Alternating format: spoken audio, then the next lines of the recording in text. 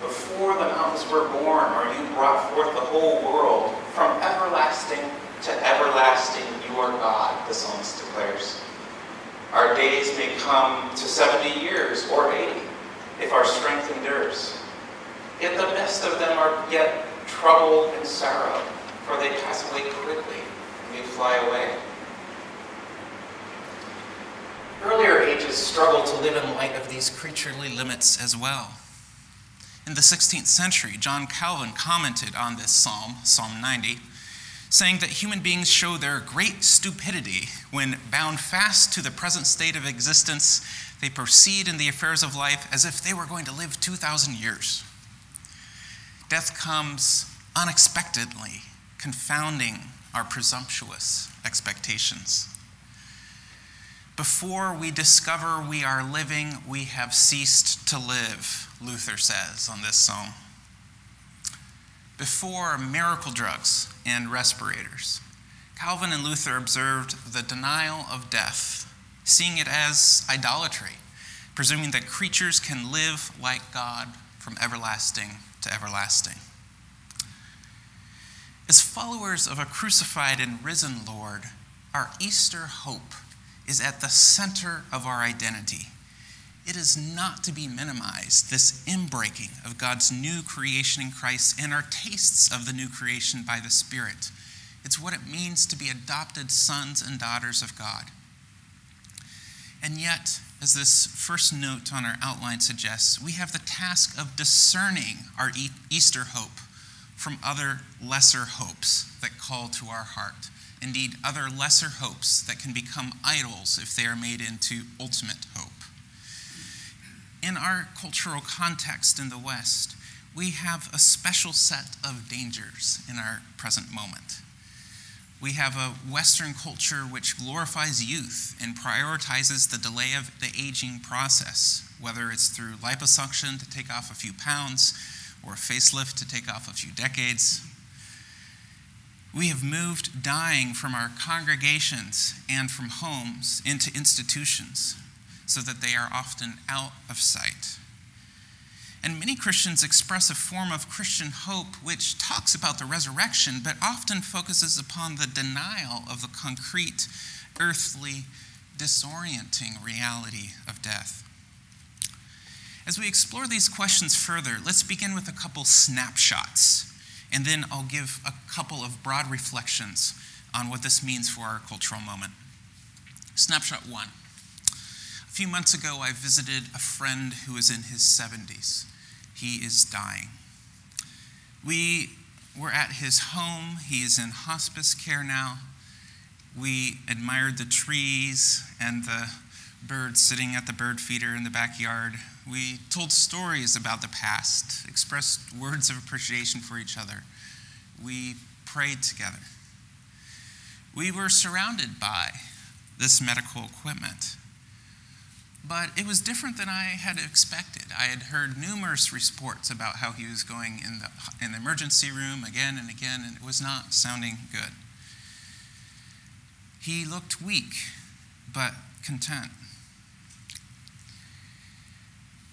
My friend said that each time he was going into the emergency room, his body came out more weary and battered from the curative methods that were imposed on him. His condition is degenerative and incurable.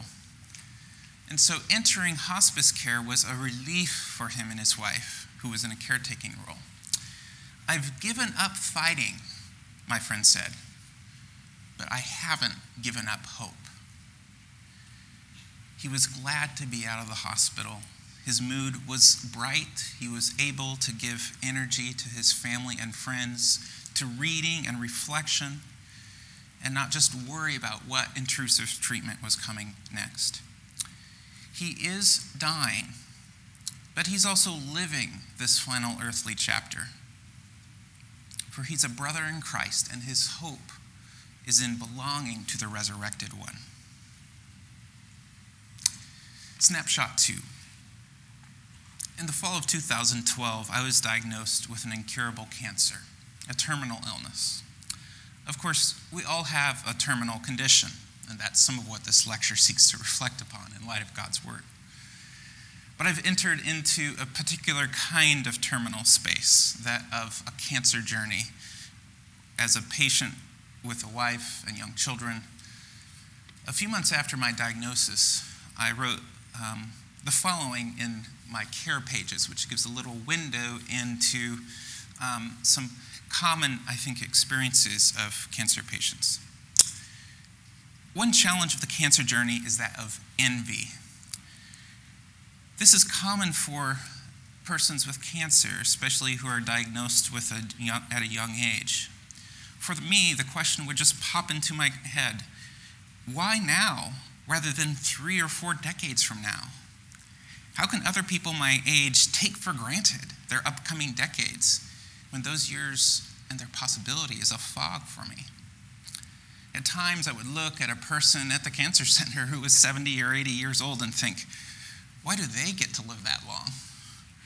What are the chances that I could possibly live that long? In light of this age envy, experienced by cancer patients, we face a very real temptation to quantify life's value. The longer the life, the better. So, with my diagnosis, the frequent um, lifespan after diagnosis is said to be five to seven years in terms of a median. So, when I get together with other cancer patients, um, if somebody says, Well, I was diagnosed 10 years ago, there's a gasp in the room. and there's, you can almost feel the sort of joy for them and also, why doesn't that happen to other people too? we want more time. We want to prolong life. And it can become almost a kind of game to see another birthday and to define abundant life in terms of seeing another birthday rather than whether we are living life in communion with God and others.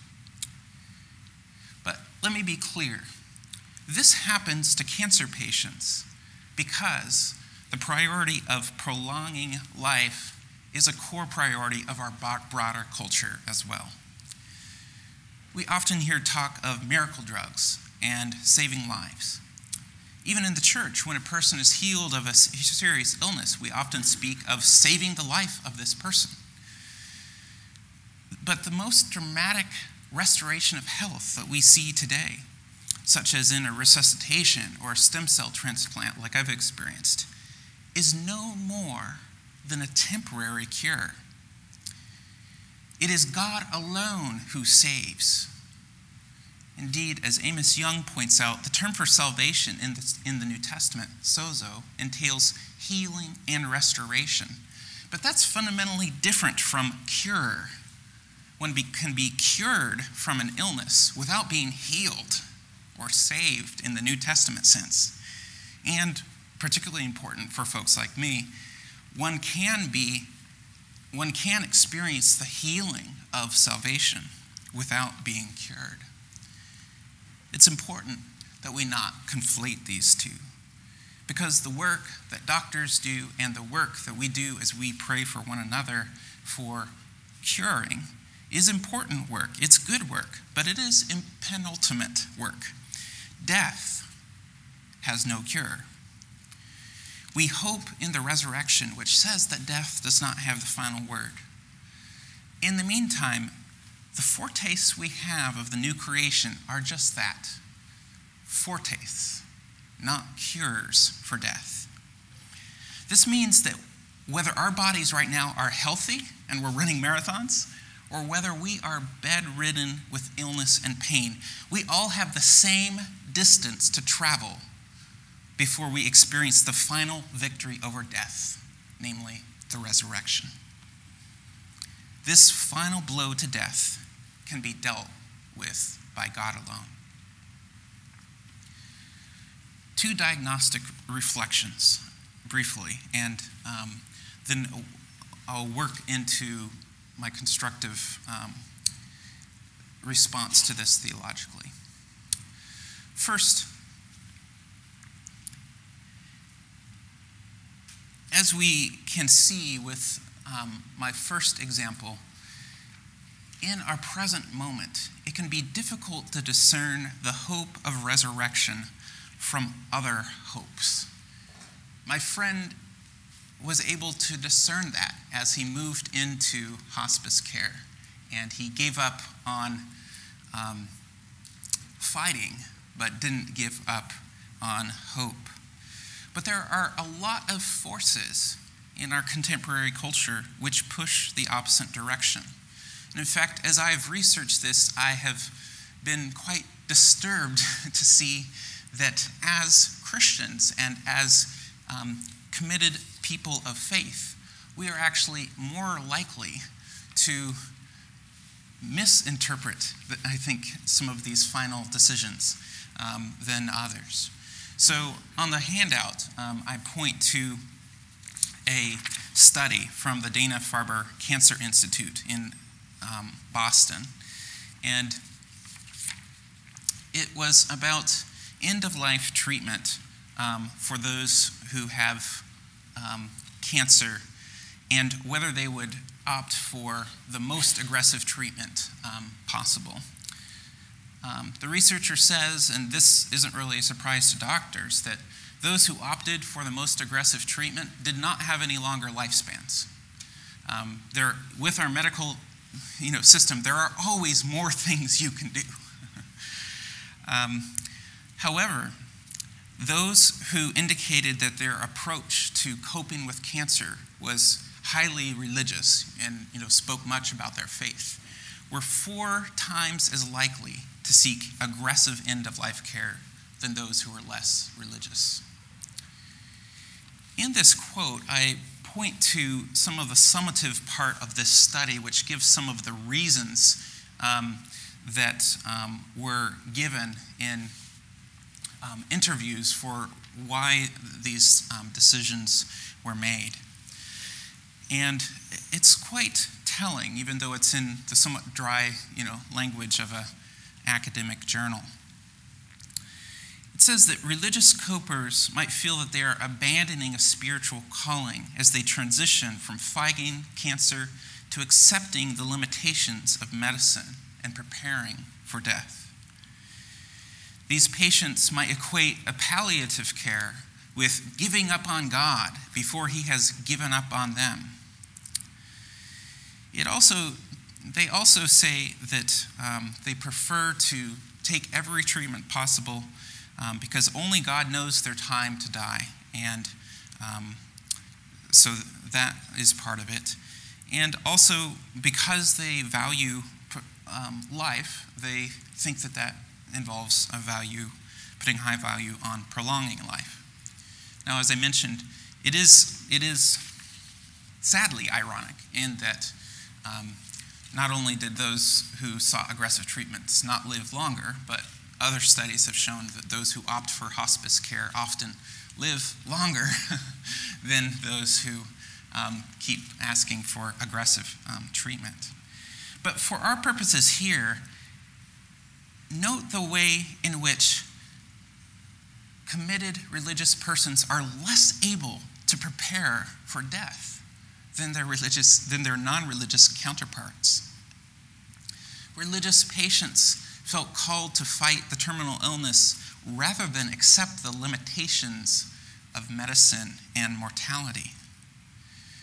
Unlike my friend who entered hospice and gave up fighting but didn't give up hope, these religious patients felt they served God by functionally denying the limits of medicine and mortality. A second diagnostic reflection illuminates the many forces that inform my own response to um, envy and, um, and some of what led to this. And an influential thinker for, for me in giving a sociological and historical account has been um, Atul Gawande, who's a surgeon at Harvard Medical School. And um, his book, Being Mortal, um, explores this. And some of what he explores is the way in which we have a cultural liturgy of death. That's my own term, um, with apologies to James K. A. Smith. Um, but a cultural liturgy of death that has modified and that has um, changed rapidly over the last half century or so. He points out that in 1945, most deaths occurred in the home. By 1980s, just 17% did. And even in terms of how he was trained as a clinician and a surgeon, he says there's nothing more threatening to who you think you are than a patient with a problem you can't solve. But this is some of the challenge death is unfixable for the surgeon. With the terminal illness, Gawande says, and when treatments just keep on and on and on, death is certain, but the timing isn't. So everyone struggles with this uncertainty, with how and when to accept that the battle is lost. As for last words, they hardly seem to exist anymore. Technology can sustain our organs until we are well past the point of awareness and coherence. Gawande notes the loss that has taken place in the midst of this. He grew up, er, his, um, his family of origin is from India, and he talks about his grandfather who lived in their house as he was dying, and members of the family would gradually take part of the caretaking process. But he was treated with great respect and honor, passing on um, wisdom. Um, Gawande notes how in the West there has been a tradition of the art of dying and of prayers and confession and a place for the church as a community to walk with the dying in that process. But our cultural liturgy has changed. Now, don't understand, I am not anti medicine. I probably would not be here today if it was not for medicine. But with medicine, if it becomes our master, it feeds our attempt to cling to life as if the limits to our life are artificial and unreal. In this new cultural liturgy, we've replaced final words to loved one, confession, and prayers to with agonizing family decisions about when to shut off the ventilator. We've replaced the known pastor with the unknown ICU doctor. Rather than admit that before God our life is like a breath and our days are like a fleeting shadow, and that our hope is in Christ, in his resurrection, we keep hoping that a quick medical fix will be around the corner. And as this Dana Farber Institute study shows, many religious patients act as if even preparing for death is an unforgivable surrender, an unpardonable heresy. Okay. Recovering resurrection hope in Scripture in light of some of these dynamics that I point out. Paul says in his, favorite, in his famous chapter on the resurrection, the last enemy to be destroyed is death. If Christ was not raised, Paul says, then our faith is in vain and we are left in our sin. Moreover, if Christ was not raised, we are not raised. But Christ is indeed the first fruits of those who have died. Thus, through Christ, God deals a decisive blow to the final enemy, death, in the resurrection. This conviction about God's victory over death is central to our Christian hope. I, I affirm it unequivocally. But in the light of the forces of our cultural moment, I think it's often misappropriated, whether consciously or not, in how the church approaches death. At times, we see death as an enemy that we are called to defeat. For many who are dying of cancer or who have died of cancer, they are talked about as fighting cancer to the very end, and that is their crowning virtue, rather than Paul's virtues of faith, hope, and love. At other times, because death is an enemy, we act as if we can suppress and deny its reality. It's ironic. We live in a culture which, which has death pasted all over the newspapers, but paradoxically has removed the concrete experience of dying from our families and faith communities. Even when death occurs, our response often reflects this denial. For example, many Christian funerals today collude with the death denying forces as they completely avoid the language of death and dying for other euphemisms. For many, the body of the dead person is not present of these funerals. It's in turn turned into a one sided celebration of life of the one who died, complete with color photos, Christian contemporary music, and a hero making process for the Christian loved one. It's become common to use the word homecoming rather than death, since God has been victorious over death and the loved one is in a better place, after all. I mean, death. Just saying the word sounds morbid, right? And it's an enemy. Not surprisingly, in this context, many Christians are hesitant to talk about death before it comes, to plan to give space for dying with family and faith communities. Because death is the enemy, and they don't want to give it that space. Ironically, however, I believe that our testimony to resurrection hope is muted in our contemporary moment because of this kind of denial of death. Unlike Jesus and the New Testament authors, we do not approach death with the earthy realism of the Old Testament. Thus, I think that we need to revisit the Old Testament witness of death. As I do so, we're making a hermeneutical choice. I'm not trying to unthink Jesus as I approach the Old Testament, but it's more like this Did Christ come to fulfill the law and the prophets or to displace them? The Old Testament says things about death that can make us uncomfortable and are not always clear witnesses to resurrection hope. But they do provide the context for that resurrection hope and can lead away from some of the misinterpretation of this um, resurrection passages, like I've just been speaking about. So, the Old Testament witness death as universal and irreversible.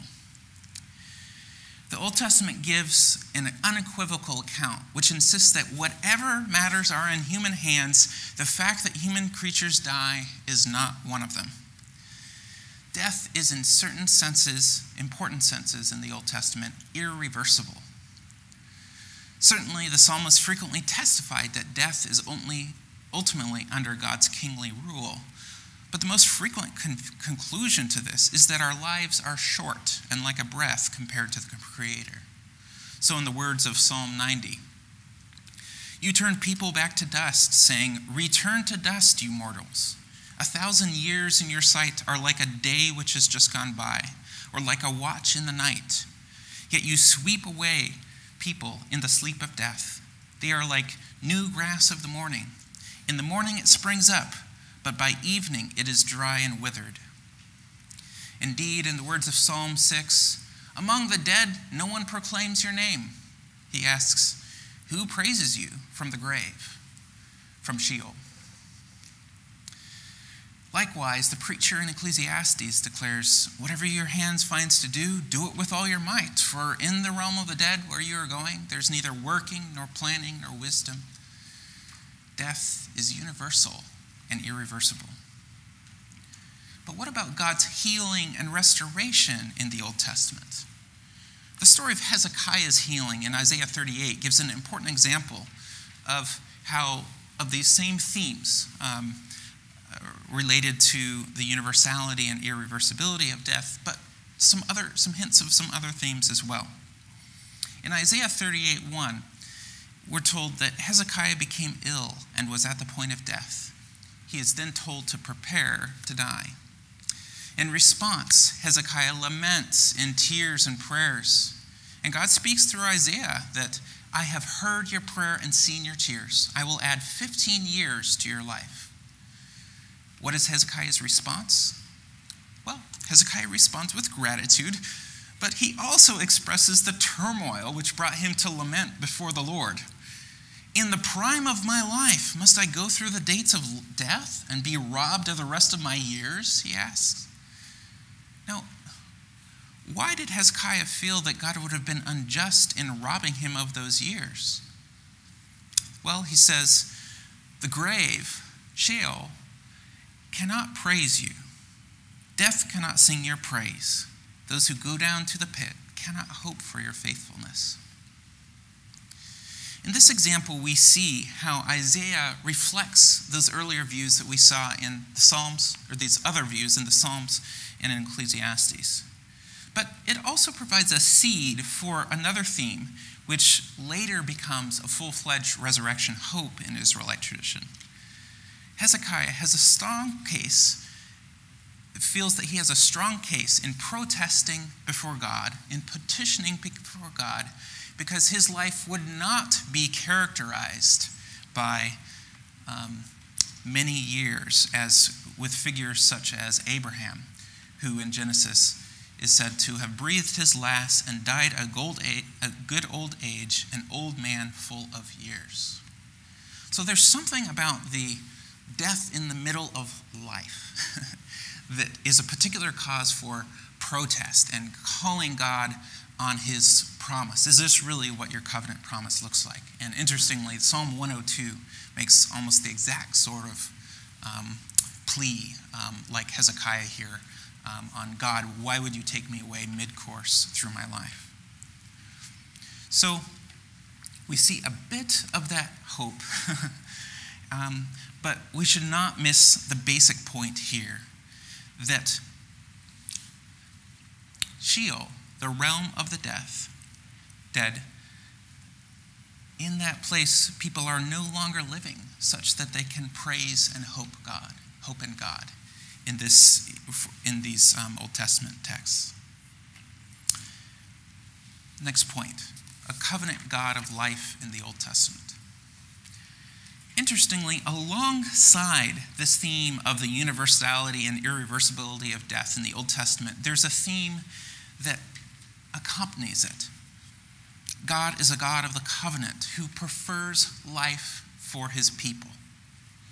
As Jon Levenson and Kevin Madigan have shown in recent books, long before a clear witness to the bodily resurrection in the book of Daniel, God's, excuse me, God's desire for life for his covenant people testifies to a sense that although God is a Lord over both life and death, in the end, death is not a friend to God's purposes, but an enemy to be overcome.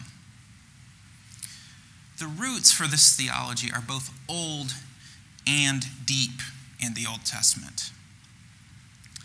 Levenson and Madigan note that Sheol, as a place of the dead, is a place for ancestors, but unlike many other um, ancient religions, they were not objects of devotion or worship.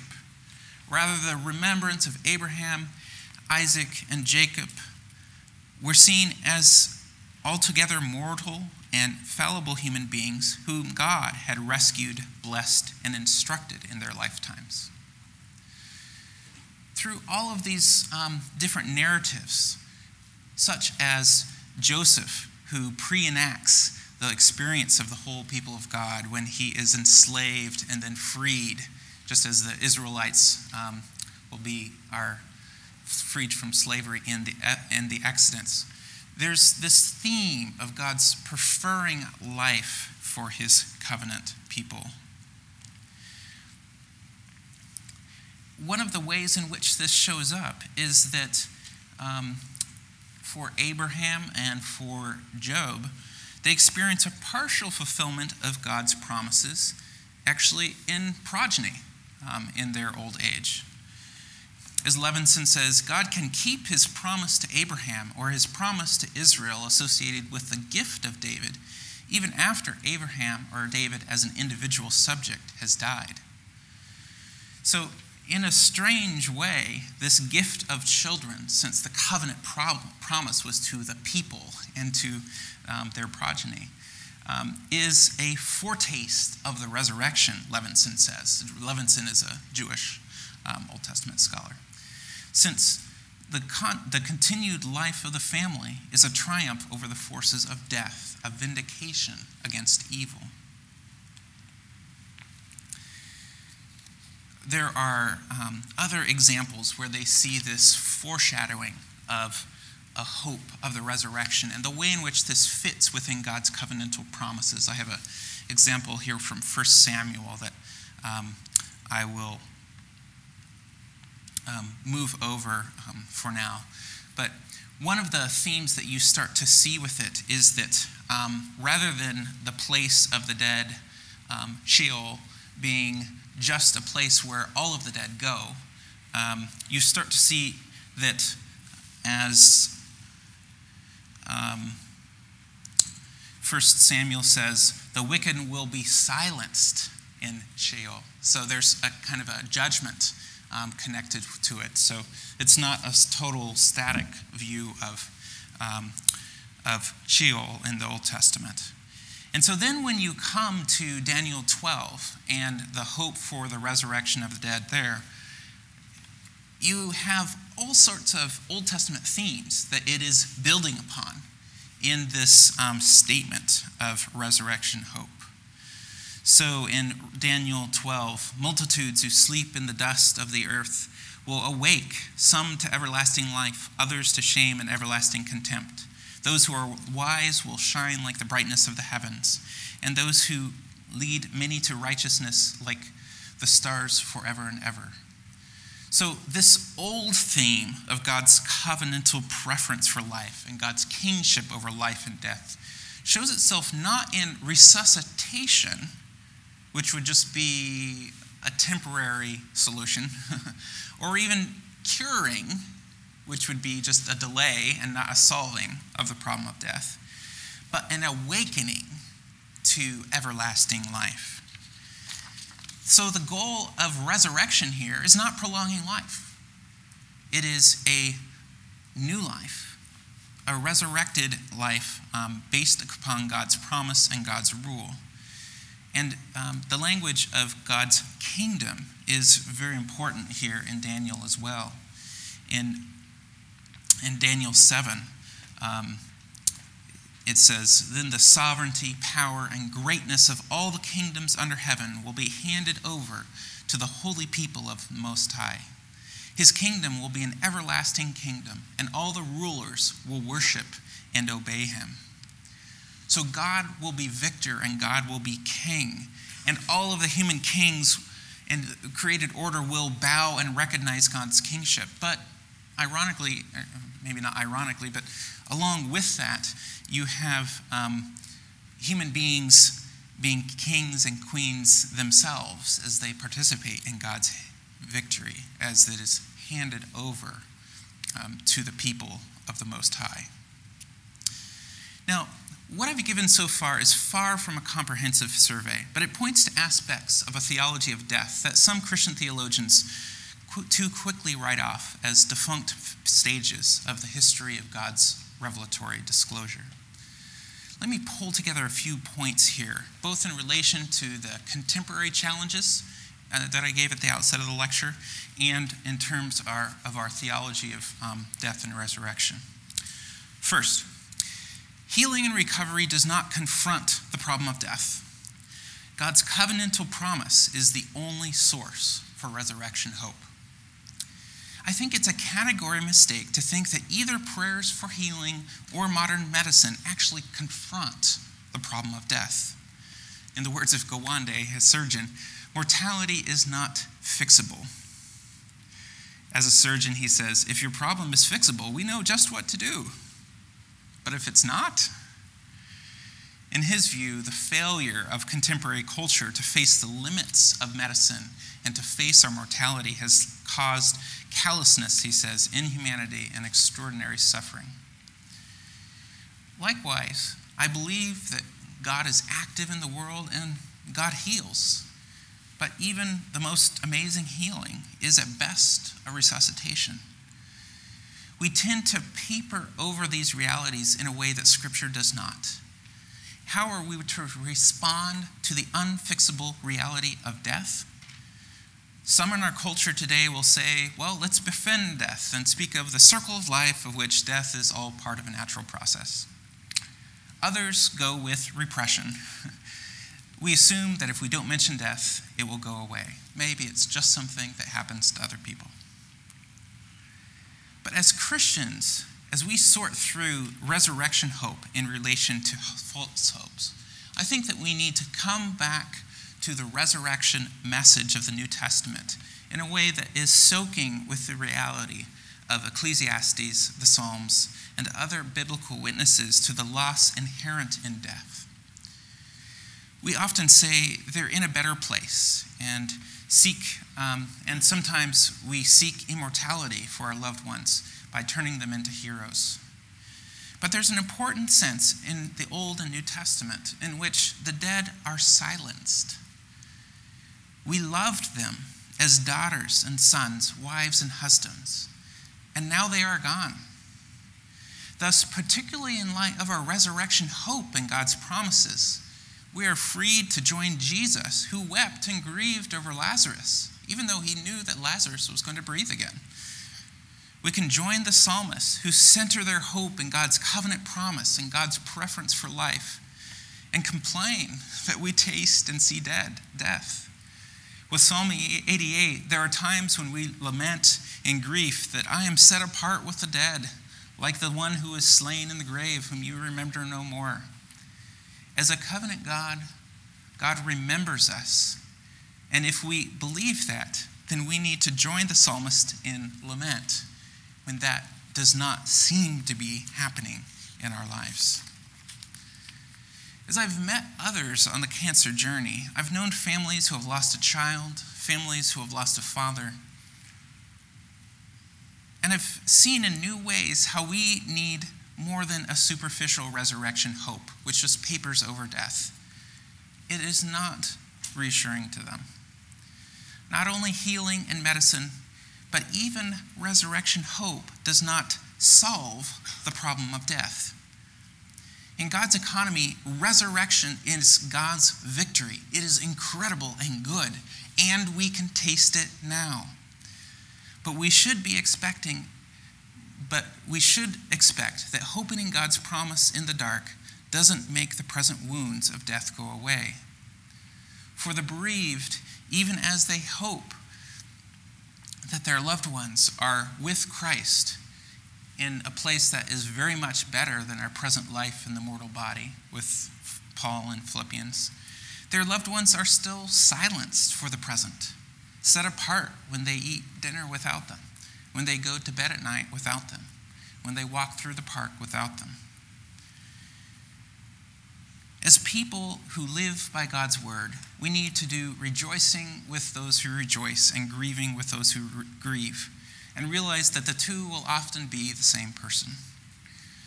Walking with one another through dying means being attentive to God's lavish, undeserved gifts every breath we receive. Yet it should also mean admitting that death is both inevitable and universal, and that it digs a hole in the living, which will not be filled until the final resurrection. Second, we live.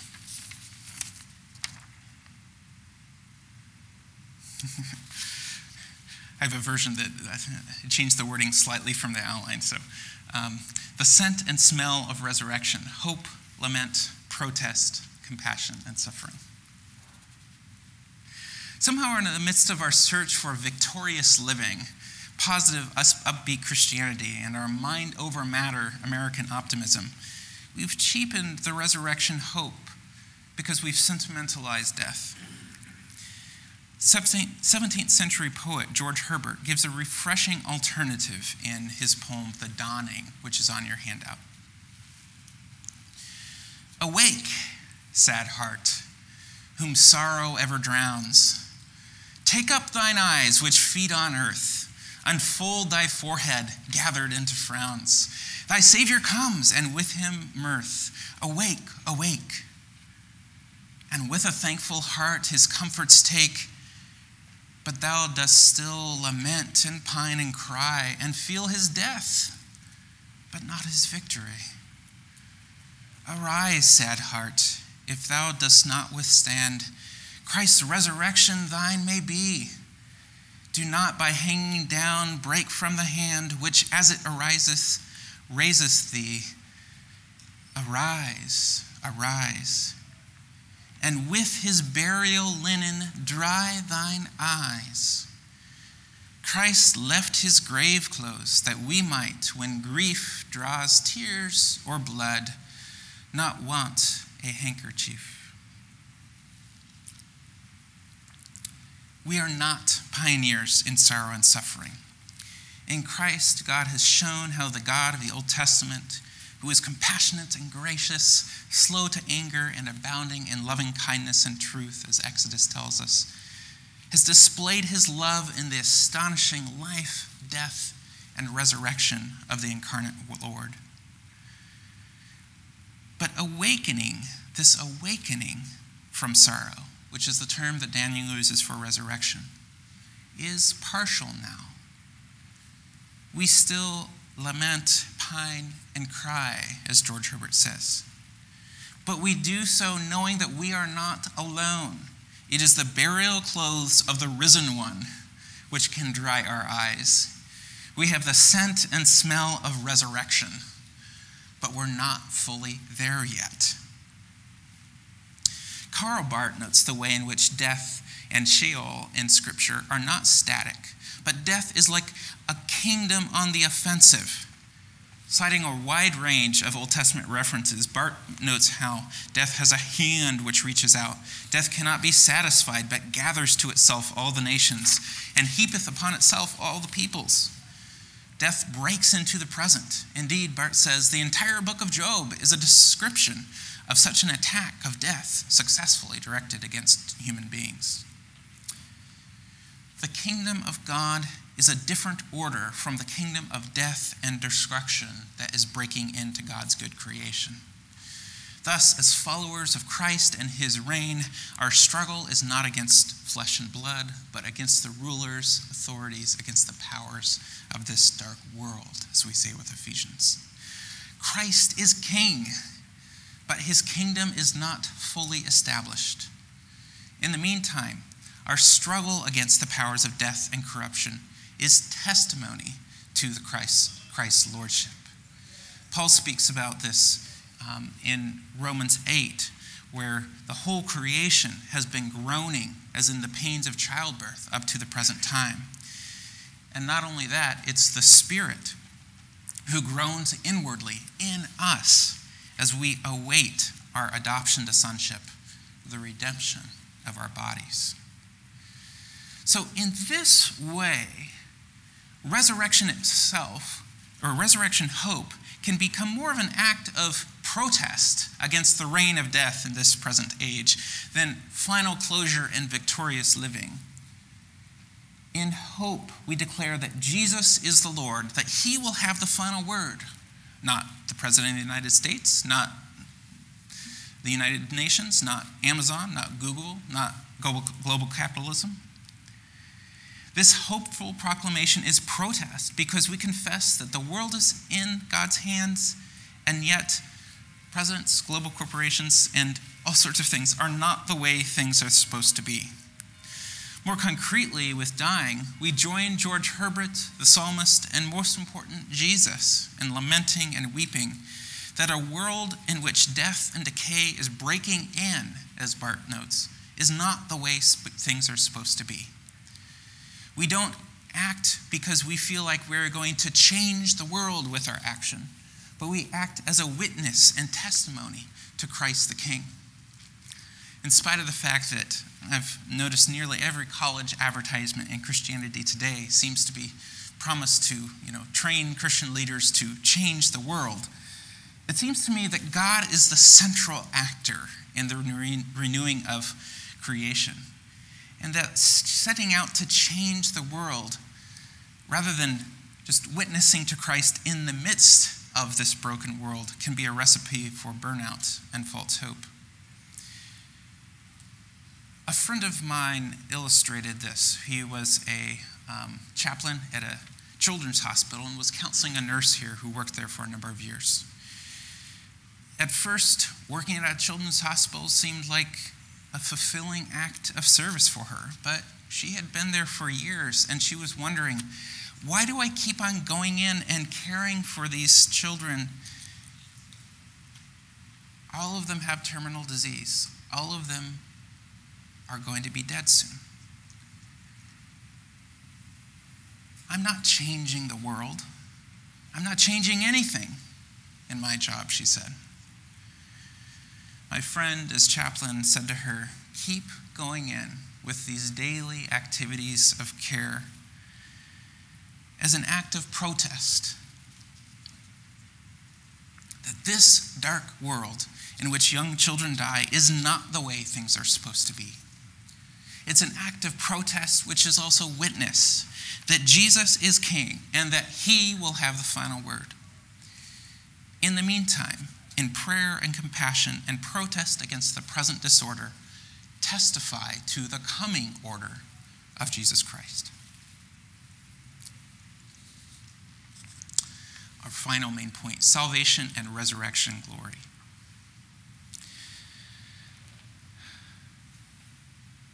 Hopefully, I've been clear that God's work of new creation with Christ's resurrection is the hallmark and fountainhead, has profound implications for life here and now. Certainly, in some sectors of the Western church today, salvation can be reduced to going to heaven after you die. That is a distortion of the gospel. But interestingly, today, I often find a different sort of problem. They've read books from the cottage industry about how salvation is not about just what happens after death, but is about life here now. Among the finest of these polemics and counterproposals is N.T. Wright and his very influential book, Surprised by Hope. In light of this counter movement, we're seeing congregations that have a different problem. Recently, I was speaking with a pastor whose congregation um, consists of um, adults in their 20s and 30s they consider themselves to be very influenced by N.T. Wright's vision of kingdom and similar voices. Then he noted with some distress and that something might be wrong that they had never talked about life after death. Being a homogeneous unit church, in a sense, they had never had a funeral. They had never walked with someone through the process of dying. There was a sense in which what they were left with is assuming that the kingdom of God, what we see of the kingdom of God here and now, is all there is. How could this happen? Well, it did not happen because that was the teaching of N.T. Wright. It certainly isn't.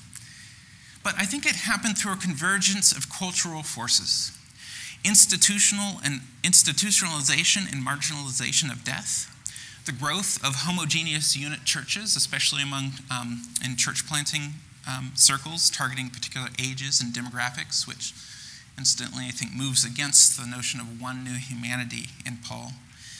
And the idolization of cultural values such as productivity, change, and innovation. So it's all on our present moment and what we're doing for the kingdom now. Wright's view is much more balanced and nuanced than the functional theology of this congregation. But given the dynamics of our cultural moment, I fear that his proposal can be easily co opted in a particular direction. First, Wright has trouble has a troubling tendency to view his own proposal as new and distinct from as distinct from earlier Christian teaching, feeding into kind of contemporary, especially American idolatry of the new.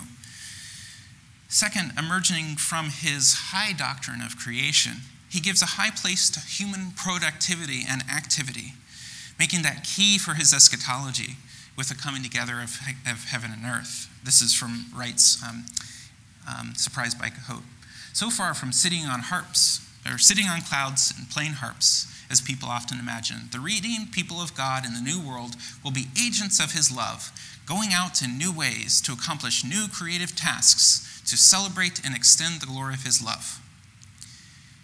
However, one evaluates this vision of the eschaton, the fact that it resonates with the common cultural idols of the West in terms of productivity, adventure, can make it an easily domesticate, easily domesticated by a youth-oriented culture that wants to deny our mortality.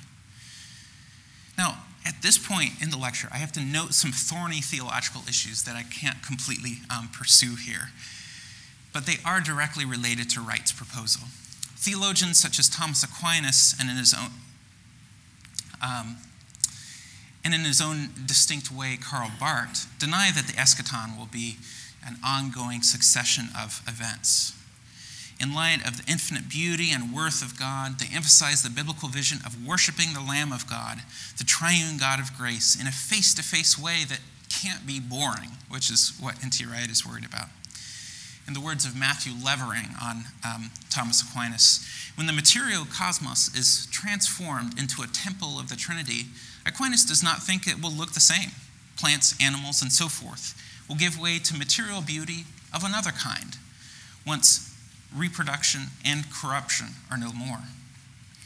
So it will be material, um, but these bodily movements will gain a share of divine eternity and a subtlety and agility of um, Christ's body. In a different way, Karl Barth makes a case against ongoing succession of time in the new creation by claiming that creatures as creatures are not immortal, and that endless succession of creaturely time is a form of idolatry. Thus, Barth sets it up in this way so that the astonishing gift is that we actually share in God's eternity in the resurrection. When humans participate in the resurrection, according to Barth, they come to exist in time in the way that God does, not in the way that, that, that creatures do. When human beings' time and all, shall, all of that shall have passed, Barth says, he will be caught up by the eternal God as the one who exists in his time, not according to his nature, but according to the promise of God. Now, I appreciate the way in which N.T. Wright uncovers the biblical theme of the way in which the coming together of heaven and earth is a restoration of our created goodness, embodied and material and earthy. But I do, and I also have hesitations about aspects of Aquinas' and Barth's proposal. Aquinas on whether he can adequately explain how the resurrected is connected with the kingdom being handed over to the holy, most holy people of God, as the book of Daniel says. And Barth, whether his decision to say that mortality is constitutive to creator, creaturely existence risks downplaying the goodness of God's creation itself and just saying that death is natural. But as we approach death in our current production oriented, medicalized context, I think that our current challenge is to see the astonishing glory of the resurrected life and how different it is from all of our best activism, evangelism, social justice, and so on. As Paul says in 2 Corinthians, for this light and momentary affliction is preparing us for an eternal weight of glory that is beyond all comparison. For many Christians today, this glory is not beyond all comparison. It is, on the one hand, an excuse to deny the ravages of death in our world and in our hearts to save us from the work of lament and compassionate response. But for other Christians, resurrected glory is not beyond all comparison because they assume the kingdom of God is just here and now. Heaven is a place on earth. and that the Christian message is primarily a word to motivate people to go out and make the world a better place. To these, I have a word of despair and hope. we cannot transform the world. But we hope in a God of resurrection who promises to do just that.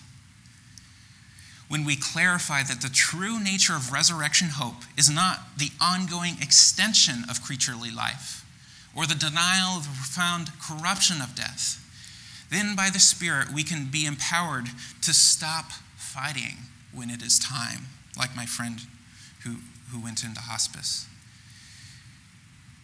And to keep hope. We can be, in, in this light, we can keep lamenting and responding in a world where the kingdom of death seems to move forward, even as we recognize that we are witnesses to King Jesus and not the saviors who claim that they can fix the unfixable problem of death. For God alone, with his covenantal preference for life, can awaken his people to resurrection life in Christ, such that death does not have the final word. Thank you.